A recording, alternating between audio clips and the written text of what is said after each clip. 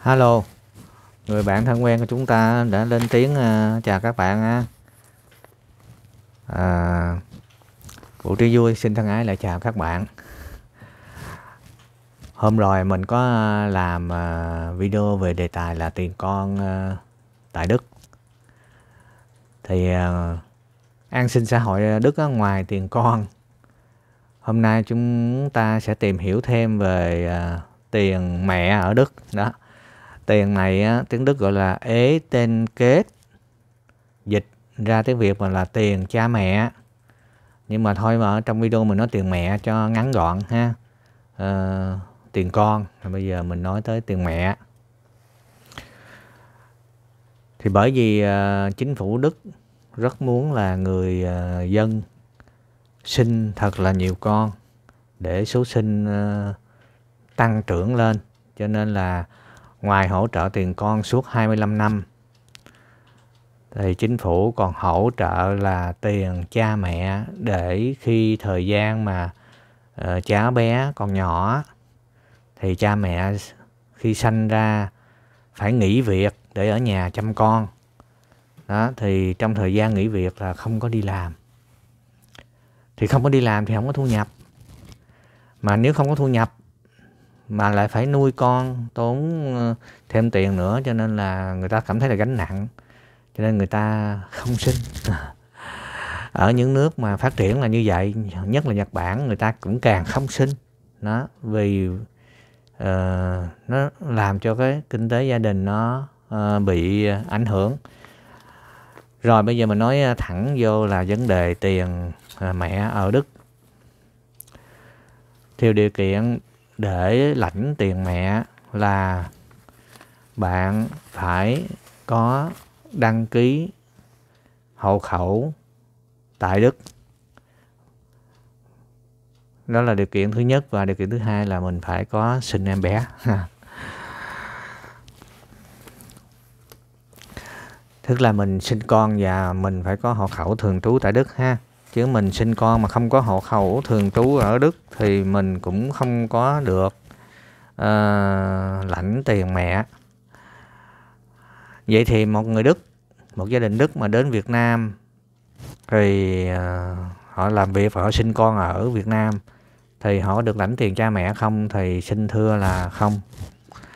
Phải là đăng ký hộ khẩu tại Đức thì mới được dù rằng người Đức quốc tịch Đức nhưng mà đến Việt Nam sinh con hoặc đến một nước khác sinh con và uh, họ sinh sống ở đó thì không được mà họ phải là đăng ký hộ khẩu tại Đức. Đó.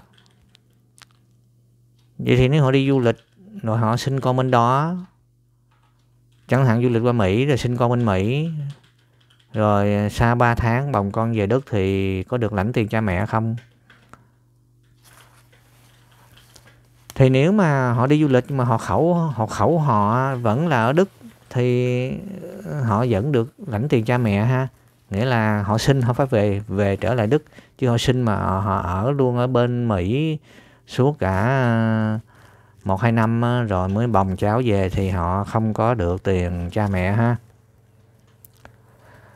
Bởi vì quy định là khi mình có hộ khẩu ở Đức thì mình phải đóng thuế thu nhập tại Đức đó thì mình đóng thuế thu nhập đó đó là cái điều kiện để người ta hỗ trợ tiền mẹ nha. Như vậy đó là uh, tiền mẹ để phụ giúp cho trong thời gian là nuôi dưỡng con. Đó. Nếu như mà sanh con ra mà không nuôi con mà gửi con vào uh, nhà trẻ à, có những ờ, nhà trẻ mà sanh chăm em bé sơ sinh đó. Rồi mình lại đi làm thì mình không được nhận tiền ờ, con không được nhận tiền mẹ nha. Mình phải ở nhà chăm sóc bé thì mới được lãnh còn nếu mình đi làm mà số giờ đi làm trong một tuần của mình quá 30 giờ quá 30 tiếng đó, thì mình sẽ không được lãnh tiền cha mẹ cái thứ hai nữa là nếu mà thu nhập của một người mà trên 250.000 euro một năm, hoặc là cộng hai người lại là cả cha mẹ, thu nhập cả hai là vợ chồng là hơn 500 ngàn euro một năm, thì cũng không được lãnh tiền cha mẹ. Cái đó thì quá hiếm nha, lương thủ tướng Đức cũng chưa tới chưa tới mà 250.000 euro một năm ha. Cái đó chắc là phải những ờ, nhà ờ, tài phiệt á. thì họ mới được ờ, có cái mức lương đó ha. Còn người dân bình thường thì chắc chắn được lãnh tiền ờ, cho mẹ rồi.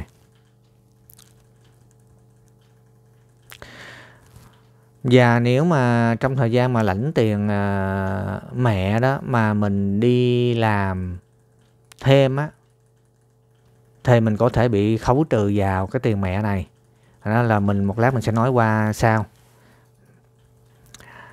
cái tiền mẹ là để là mình toàn tâm toàn ý mình ở nhà mình uh, tập trung sức lực để mình uh, nuôi dưỡng cháu bé. Cho nên là nếu ai đi làm hơn 30 giờ một tuần thì sẽ không được nhận tiền mẹ. Đó như vậy đó. Nhưng mà sẽ có những người họ đi làm. Tại vì lương họ cao. Lương họ cao mà lãnh uh, tiền mẹ không không không bằng mà họ nếu mà họ bị áp lực là nếu mà họ uh, ở nhà thì cái công việc của họ bị ảnh hưởng cho nên là họ đi làm. Họ để ờ, uh, cháu cho ông bà gì đó nuôi. Cái đó mình ờ, đoán vậy thôi chứ mình thấy hầu như ai cũng là ở nhà lãnh thường mẹ ha. Mình đoán vậy thôi. Thì bây giờ là uh, mình sẽ để đơn uh, lãnh từ mẹ khi nào. Thì mình có mở cái video mà các bạn xem á, thì người ta cũng nói trong đó à, mình nói cái ý của trong cái video đó thôi mình không dịch hết. Mình nói cái ý của video đó và mình mình sẽ để cái đường link ở dưới ha. Và mình cũng nói cái ý của mình vô. Thì người ta nói tốt nhất là mình làm trong thời gian mình mang thai ở bên Đức là có cái uh, chuyện là bảo vệ uh, bà mẹ về trẻ em đó các bạn. Tức là chẳng hạn bạn đang đi đi làm bạn đang đi làm mà bạn ờ, mang thai thì à, người ta tính là thai tuần à, th một thai kỳ là 40 tháng. Thì tới tháng thứ 38 là bạn sẽ được à, một đâu một à, mình xin lỗi nha không phải 30 tháng nha một thai kỳ người ta tính là 40 tuần. Đó. mình uh, nhớ lộn. Thì uh, trước khi sinh uh, cháu khoảng 2 tháng người ta tính nha thì bác sĩ sẽ tính ở thai kỳ là 40 tuần đó. Thì trước khi sinh khoảng 2 tháng thì người uh, phụ nữ sẽ không phải đi làm nữa mà được. Uh, một cái luật gọi là luật uh, tiếng Đức là Mutterschutz tức là sẽ ở nhà để dưỡng thai chuẩn bị uh, việc sinh nở. Đó thì gọi là thời gian là Mutterschutz thì ờ, trong video ta nói là trong thời gian này mình nên để đơn mình nên là chuẩn bị đến những ờ, cái nơi mà phụ trách về tiền mẹ đó. Nên đến đó để người ta tư vấn và mình làm đơn sẵn đi nha tại vì là có quy định là sau khi mình sanh bé thì trong vòng 3 tháng từ ngày bé ra đời trong vòng 3 tháng đó, mình phải để đơn xin tiền mẹ. Nếu mình để trễ hơn quá thời gian là hạn này thì tiền mẹ sẽ không được hưởng nữa. Đó. Thì trong video người ta nói là trong lúc mà chúng ta mới sinh cháu thì chúng ta bận rộn nhiều quá, mệt mỏi quá, chúng ta lại quên đi cái chuyện mà đệ đơn sớm. Cho nên là họ nói là trong thời gian mà múa tơ suốt tức là thời gian bảo vệ bà mẹ hai tháng trước khi sinh đó chúng ta nên à, đến nơi tư vấn và tốt nhất là nên làm đơn sẵn. Và khi cháu sinh ra đời thì nộp đơn luôn. Đó là cái tư vấn của người ta ở trong video ha. Đó là mình nói để các bạn nào mà sang Đức mà lập gia đình mà chuẩn bị sinh con ha. Ngoài ra các bạn mà không có uh, chưa sang Đức hoặc là uh, sang hoặc là chưa sinh thì các bạn cũng xem đây là một cái kiến thức để cho mình có kiến thức. À, nếu mình gặp cái bạn bè mình hoặc là nếu mình ở trong trường hợp này thì mình đã có sẵn cái kiến thức rồi ha. Thì bây giờ người ta cũng nói là nếu sinh đôi hoặc là trong gia đình có nhiều em bé thì tiền mẹ cũng được tăng thêm uh, khoảng 10 mình nghe dường như là 10% hay 14% gì đó mình nghe mình cố gắng nghe đi nghe lại mà họ nói cái chỗ này họ nói không rõ lắm. Thì chúng ta hiểu là ví dụ mình sinh em bé em bé có uh, anh chị cũng mới là ba bốn tuổi hay năm sáu tuổi gì đó chưa đi học. Thì người mẹ phải chăm một lúc là ba bốn cháu chưa tất cả đều chưa tới 6 tuổi nữa là con nhỏ thì tiền mẹ sẽ được tăng thêm ờ, một ít nữa. Đó. Và sanh đôi thì cũng được tăng thêm một ít nữa. Còn tiền con thì sanh đôi cứ tính đầu con mà uh, lãnh ha. Tiền con thì kéo dài hơn nha. Tiền con kéo dài tới uh, cháu 25 tuổi. Còn uh, tiền cha mẹ này thì chỉ kéo dài được tối đa là 28 tháng thôi. Uh, mình sẽ nói xuống phần dưới nha bây giờ mình nói những cái phần à, cơ bản trước.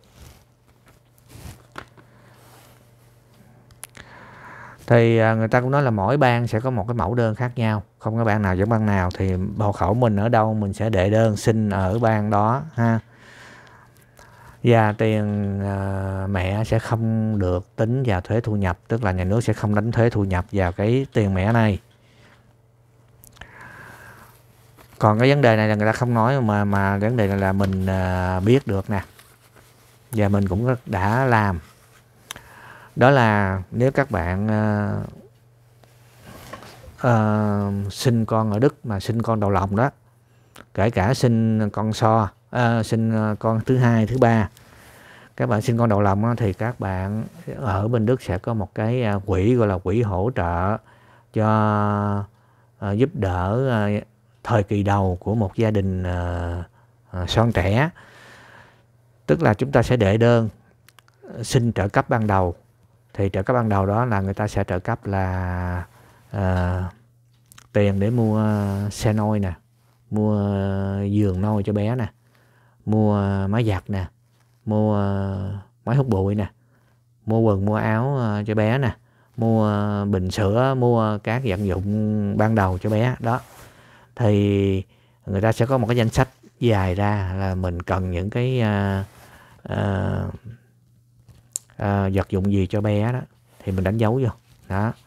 Rồi người ta sẽ xét cái thu nhập của hai vợ chồng. Đó. Thì à, nếu à, thu nhập mà không có quá cái mức quy định đó, tức là nếu thu nhập cao thì người ta bảo là đủ rồi tự bạn phải lo. Còn thu nhập thấp hơn cái mức quy định. Chẳng hạn người ta quy định là hai vợ chồng cộng lại là thu nhập cầm tay còn khoảng à, 2 ngàn. Đó. Trừ tiền nhà ra. Thì uh, nó dưới cái mức mà họ quy định thì họ sẽ trợ cấp ha. Còn ở trên mức đó rồi thì họ nói thôi bạn đủ rồi. Bạn tự lo đi nha. Nhưng mà cái đơn này bạn phải làm trước khi mà sinh cháu đó cái đó là cái kinh nghiệm của mình và của à, bao nhiêu người việt ở đức cũng đều có biết những cái điều này ha. Thì xin con đầu lòng nên đệ đơn xin cái tiền trợ cấp đó. Còn nếu sinh con thứ hai cũng vẫn đệ đơn xin cái tiền trợ cấp đó nha. Nghĩa là mỗi lần mình sinh con mình cứ đệ đơn là người ta xem xét nha. Còn mình uh, phải đệ đơn trước khi sinh nha. Sau khi sinh mình đệ đơn thì rất là khó nha đó, các bạn uh, chú ý điều đó. Rồi bây giờ mình uh, sẽ nói là cái uh, tiền cha mẹ sẽ được hưởng bao nhiêu. Tiền con thì trong video trước các bạn uh, đã biết rồi. Bây giờ mình sẽ nói về uh, tiền cha mẹ là uh, cái mức hưởng là bao nhiêu.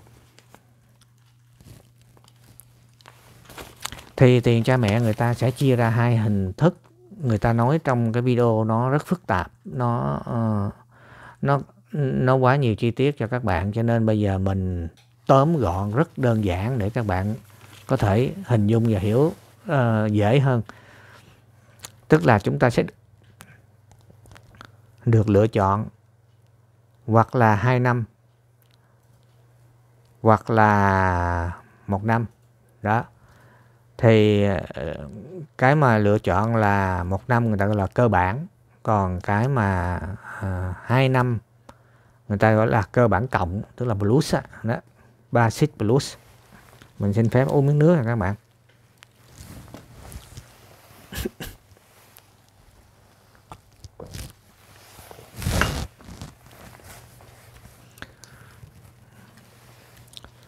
Thì trong thời gian mà các bạn ờ, lãnh tiền mẹ đó, thì bảo hiểm y tế các bạn sẽ được ờ, nhà nước hỗ trợ các bạn không phải đóng bảo hiểm y tế mà các bạn được hưởng luôn, nha. Mình có thẻ bảo hiểm hiểm y tế bình thường, đi khám chữa bệnh, kể cả ờ, khám chữa bệnh cho cháu hoặc là khám định kỳ cho cháu đều do bảo hiểm chi trả hết trong cái mức cơ bản mà bảo hiểm quy định ha tất cả bảo hiểm y tế ở Đức đều chi trả toàn bộ chi phí mà theo cái ba rem của uh, uh, bảo hiểm quy định. Còn có những cái ngoài luồng thì bảo hiểm hoặc là sẽ trả uh, một phần hoặc là mình phải trả toàn bộ. Cái đó là các cái nơi khám chữa bệnh người ta sẽ đều có uh, uh, thông báo cho mình biết hết ha. Những cái điều trị cơ bản thì sẽ không phải Ờ, mình sẽ không phải trả mà bảo hiểm chi trả thì trong cái mà cơ bản á trong cái mà thì cha mẹ cơ bản á thì sẽ được hưởng là từ 1 đến 2 tháng và tối đa là 12 tháng. Còn nếu hai cha mẹ cùng thay đổi nhau chăm con thì cái uh, tiền mẹ cơ bản này sẽ được kéo thêm lên là 14 tháng ha. Nghĩa là người cha cũng có thể uh, thay phiên với người mẹ. Thì cái tiền cơ bản á thì có thể nhận liên tục 12 tháng luôn. Đó. Hoặc là thay đổi nhau à, vài tháng nghĩa là người cha à, chăm con hai tháng chẳng hạn rồi trong hai tháng đó người mẹ nghỉ ngơi hoặc người mẹ đi làm thêm gì đó. Rồi người cha lại đi làm người mẹ lại chăm con. Đó là thay đổi nhau được ha. Là mình nói nguyên lý cơ bản vậy nè 12 tháng và 24 tháng. 12 tháng có thể kéo dài lên 14 tháng. À, nếu người cha cùng tham gia chăm con. À, và uh, cơ bản cộng là kéo dài lên gấp đôi là 28 tháng hoặc là 24 tháng ha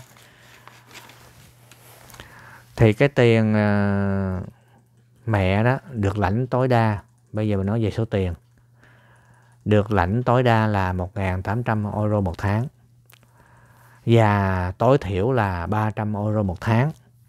À, vậy thì vậy thì tối đa và tối thiểu là như thế nào?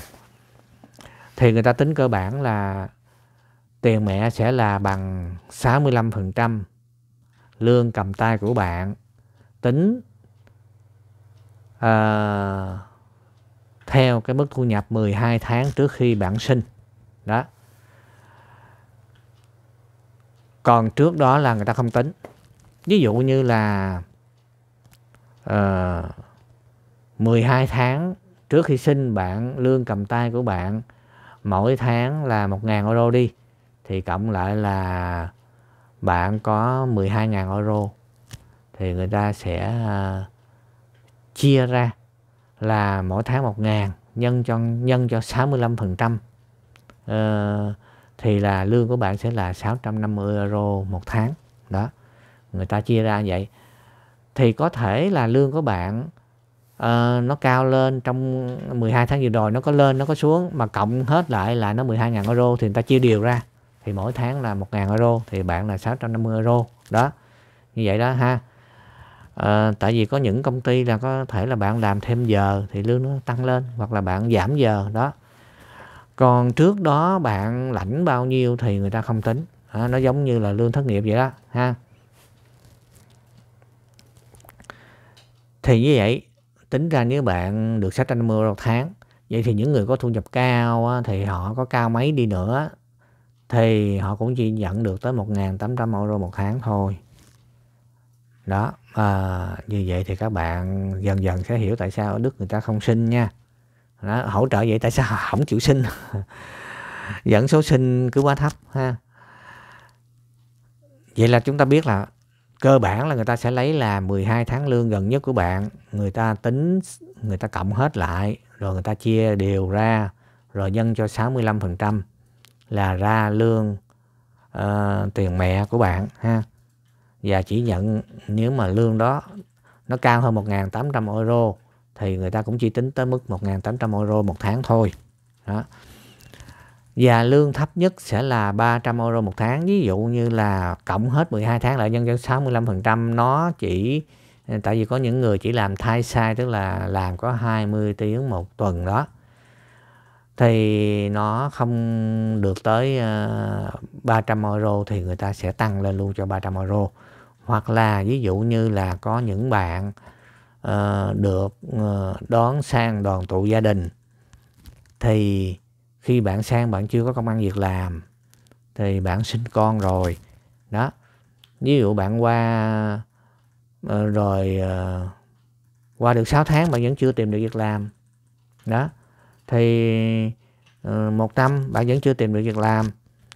Thì đến năm sau bạn sinh con, thì nghĩa là từ cái lúc mà bạn sinh con á, tính tới 12 tháng trước đó, bạn không có công ăn việc làm, bạn, thì bạn không có đi làm cái gì hết, thì bạn, người ta không có cái lương để người ta chia ra để nhân cho 65% thì người ta sẽ tính cho bạn là mức tối thiểu là 300 euro một tháng, đó.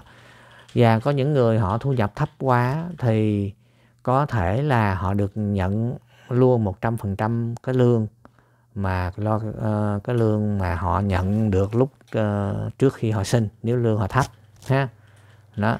Nhưng mà nếu dưới 300 thì nhà nước sẽ tăng lên cho bạn luôn là 300 euro một tháng tiền mẹ. Đó. nó dài dòng một chút nhưng bạn hiểu là thấp nhất là 300 euro một tháng cao nhất là 1.800 euro một tháng. Và tính mức uh, cơ bản là 65% lương cầm tay của bạn lúc trước đó. Đó là à, mức cơ bản.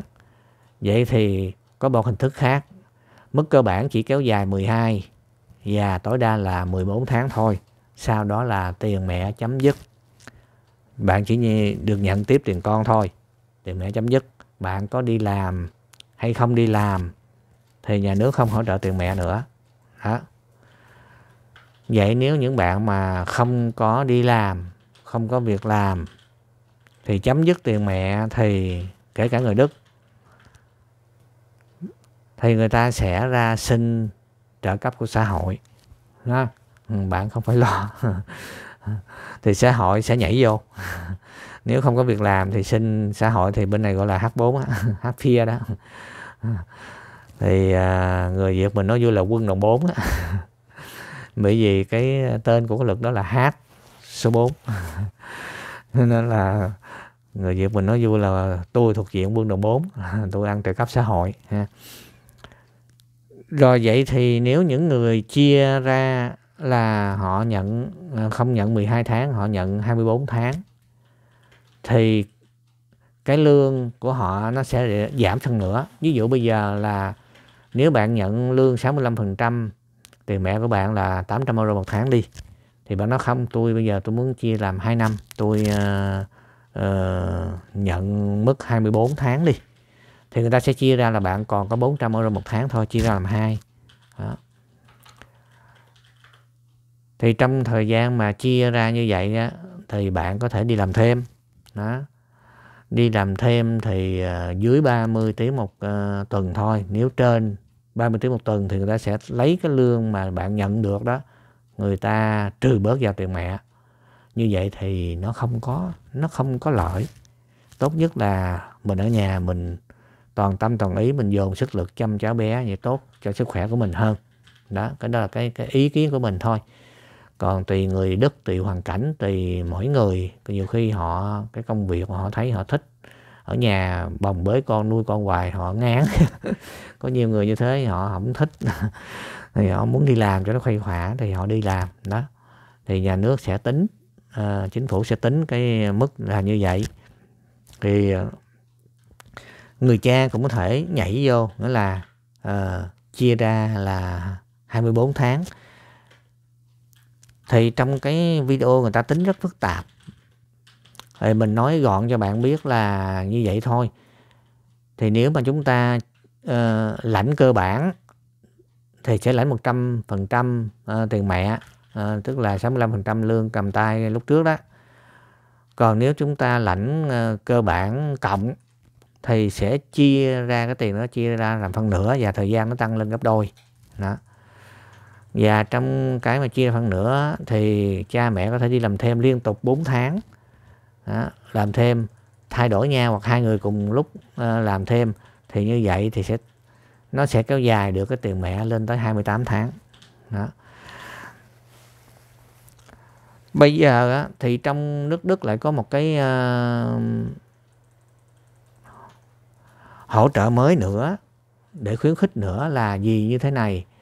Chúng ta khi chúng ta đi làm á, thì ở bên Đức là lương tự động là các bạn phải bị uh, khấu trừ. Gọi là trong cái video mình nói là tiền tiết kiệm đắc dĩ bất đắc dĩ của bạn đó. Thì trong cái mà ờ, lương mình đi làm nó sẽ trích vào cái quỹ gọi là quỹ lương hưu thì nếu như vậy, khi người ờ, chăm sóc con đó, họ ở nhà, họ chăm sóc con, họ không có đi làm, không có thu nhập, thì cái quỹ lương hưu không được đóng tiếp. Thì chính phủ mới là quy định là cái tiền mẹ này sẽ vẫn được tính vào cái quỹ lương hưu. Đó. như vậy trong thời gian mà bạn nhận tiền mẹ, bạn nuôi con, thì quỹ lương hưu của bạn vẫn được nhà nước trả tiếp vào, là nó sẽ được liên tục, nó không bị ngắt quãng chỗ đó để cho người ta khi về lớn tuổi cái quỹ lương hưu vẫn được hỗ trợ nha. Chúng lúc trước là không có. Nhưng mà sau này chính phủ thấy là để khuyến khích người phụ nữ sinh thêm con người ta uh, trả thêm cái phần lương hưu vào luôn. Tức là bạn sẽ vừa vừa được nhận tiền mẹ nè được nhận uh, tiền bảo hiểm y tế uh, uh, được uh, miễn phí nè và được nhận tiền hưu. Đó được ba cái vấn đề hỗ trợ trong thời gian mình à, nuôi con trong thời gian mình nhận tiền mẹ. Đó được ba thêm vấn đề thêm hỗ trợ ba thêm vấn đề đó nữa ha hỗ trợ ba vấn đề. Đó để người ta có động lực người ta sinh.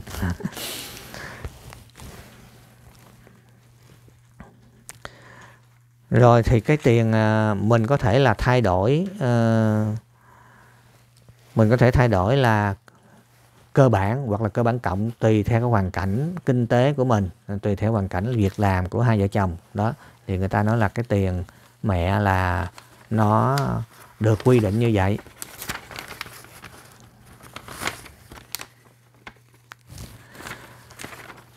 Rồi tất cả những vấn đề tiền mẹ là nãy giờ à, mình trình bày là nó đầy đủ hết rồi.